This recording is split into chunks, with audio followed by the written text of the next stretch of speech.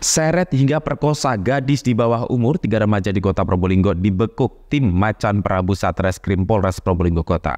Akibat perbuatannya pelaku dijerat Undang-Undang Perlindungan Anak dengan ancaman hukuman maksimal 15 tahun penjara. Sungguh bengis kelakuan tiga remaja, Fendi Kurniawan 19 tahun, Sahrul Nuril 20 tahun, dan WM 14 tahun. Semuanya warga Sumber Wetan, Kecamatan Kedopo, Kota Probolinggo. Mereka dibekuk tim Macan Prabu, Satreskrim Polres Probolinggo Kota karena terbukti telah memperkosa MH 14 tahun di sebuah wisata Matahari Mutiara. Di hadapan polisi, para tersangka mengaku perbuatannya telah memperkosa MH saat MH tengah berduaan bersama pacarnya di wisata air Mata Mutiara. Dari pengakuan tersangka Sahrul Nuril Anwar, aksi perkosaan dilakukan secara bergilir dia pertama melakukan perkosaan, kemudian tersangka WM, dan terakhir Fendi Kurniawan. Saya sama temen ini niat mancing pertamanya. Terus? Terus papasan sama dia, tak tak samperin, Hmm, terus? tak tanyakan apa di, dilakuin di sini. Terus yang laki itu nyodot. Hmm. Itu sama perkosa atau gimana itu? Dia setelah kabur yang laki itu Ber Kenapa kok kabur? Coba. takut. Diancam atau gimana? Nyodot pertamanya terus sama sama Ferdi emosi Ferdi. eh saman per, per- perkosa bergantian atau bagaimana itu? Iya. Bergantian. Siapa dulu yang pertama? Saya Terus yang kedua?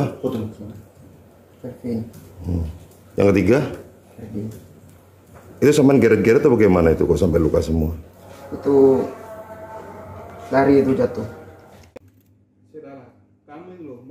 Sementara itu menurut AKP Didi Rianto, Kasat Reskrim Polres Probolinggo Kota, sebelumnya tiga tersangka menjumpai korban tengah berduaan sekitar mata air mutiara.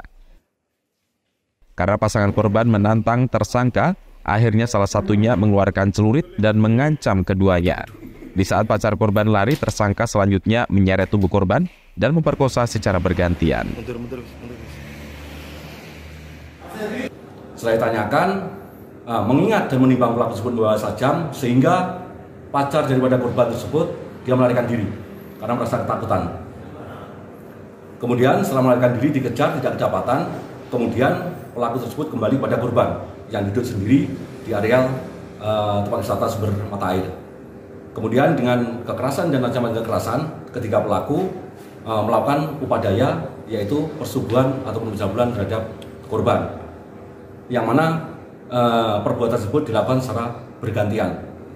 Yang pertama dilakukan yaitu oleh pelaku yang bernama eh, Sahrul, Eh, kemudian yang kedua yaitu dilakukan oleh eh, yang bernama inisial eh, WMM yang notabene yaitu masih di bawah umur. Kemudian yang ketiga dilakukan oleh pelaku eh, yang bernama si Fendi Kurniawan alias Ferdi. Akibat perbuatannya, tersangka dijerat Undang-Undang Perlindungan Anak dengan ancaman hukuman maksimal 15 tahun penjara.